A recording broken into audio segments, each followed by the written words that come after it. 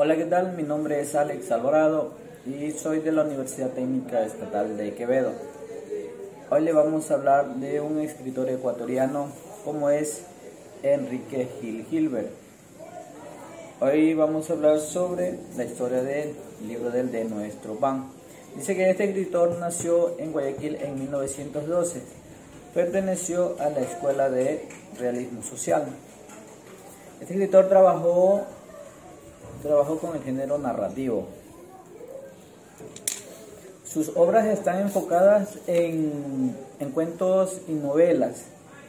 Entre las que tenemos por ahora es Nuestro Pan, que está conformada por cuatro libros.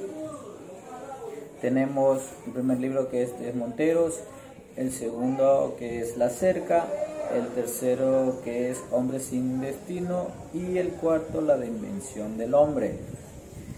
También hubo un punto de inflexión sobre el auge del arroz en 1940. En estos tiempos, en 1940, la comunidad montuve fue la más afectada, ya que fueron víctimas de la explotación y de la, de la codicia humana.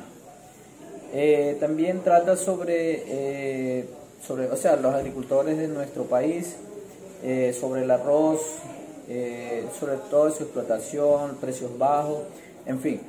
Eh, en, esta, en estos cuatro libros tenemos la historia de varias familias, de, de, familias de, de, esta historia, de que hubo maltrato, violencia, muchas cosas más.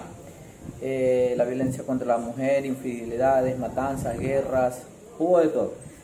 Entonces te invito a, que leas este libro, es muy importante al momento que vas a leerlo desde el comienzo, te va a enamorar porque son, historias, son historias diferentes, hay muchas cosas más. Así que te invito a que lo leas. Muchísimas gracias. Chao.